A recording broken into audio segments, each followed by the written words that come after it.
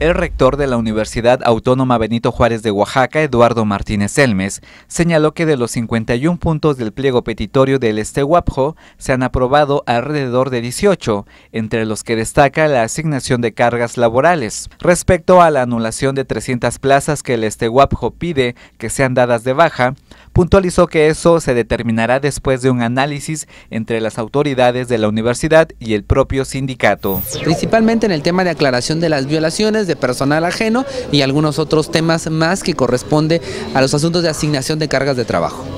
Es un tema que corresponde analizar puntualmente. Ellos expresan que hay un asunto de invasión a sus funciones. Nosotros hemos establecido, lo estamos demostrando, que esta circunstancia requiere del análisis de una comisión que expresamente hemos formado sindicato y universidad para analizarlo y darle respuesta. Respecto al tema salarial, dijo que ya se solicitó ante la federación un nuevo tabulador y un programa emergente de recuperación de salarios a fin de regularizar los mismos con todos los trabajadores de la máxima casa de estudios de la entidad.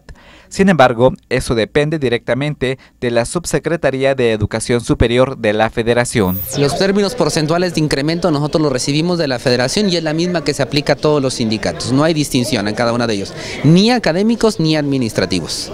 Ya la hemos presentado a la Subsecretaría de Educación Superior y obviamente que este es un proceso que implica no solamente la reforma en incremento de sabulario, sino también del tabulador y de un programa emergente de recuperación salarial.